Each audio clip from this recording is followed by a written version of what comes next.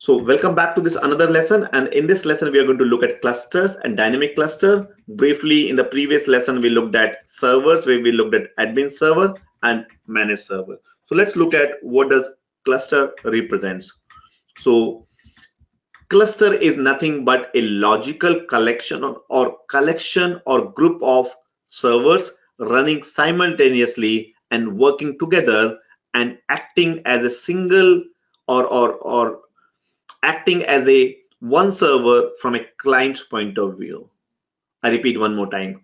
Cluster is nothing but a collection of servers running as a single unit from a client point of view and which has more or less similar configuration and similar applications deployed so that if one managed server goes down, another managed server in the cluster can transparently fail over or sessions data from one server to another and and for client eh, they will never notice what happened or if anything failed.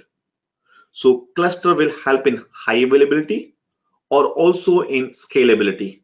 So let's suppose you have a lot of load on a one application you can put that application into cluster with multiple servers all acting as one single unit from a client point of view for scalability or high availability. So so so server is nothing but a collection of servers or cluster is nothing but collection of servers running simultaneously and acting as a single unit from client point of view. So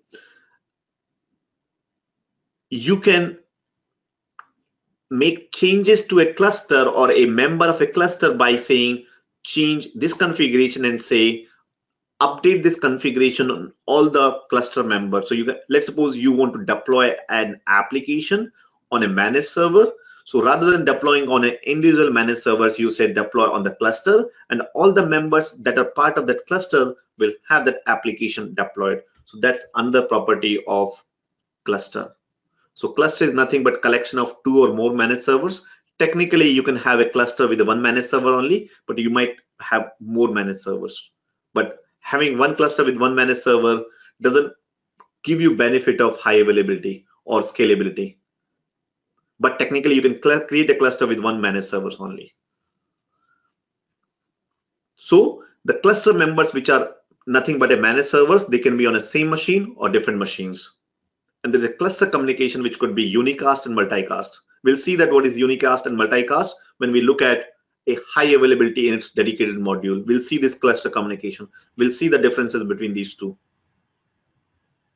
So that's cluster. So what you see in the diagram on the right hand side is nothing but you have um, a admin server which is on left hand side and you have four on top and four on bottom. So you have cluster one and cluster two. So in this domain, you have one admin server, you have eight managed servers four managed servers in cluster one and four managed servers in cluster two.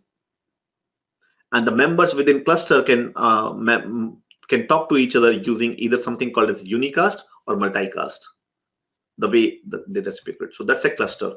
Then in 12c, there's a new concept called dynamic cluster. And dynamic cluster is nothing but a cluster that contains one or more dynamic servers. I repeat, it's only in 12c, it's not available in 11g, introduced in 12c. Dynamic cluster is nothing but a cluster that has one or more dynamic servers. That brings to the point, what is dynamic server? We'll cover that in a minute. So in a dynamic cluster, the servers are scaled up automatically as the application demands.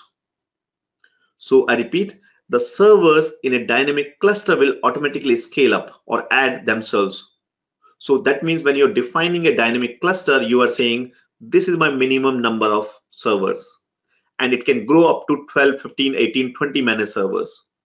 So if your application requires right now two, it will be two. If your application later has load increases, you can those members or the servers in the cluster in a dynamic cluster can automatically increase based on the configuration then you tell. So that means it needs a port number.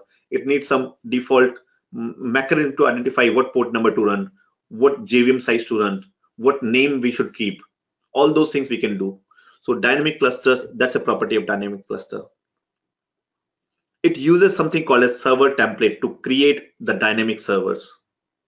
So template is nothing but a layer or, or, or, or a set of configurations that used to create a dynamic server and dynamic servers mm, or dynamic couple of dynamic servers will make a cluster or a dynamic cluster.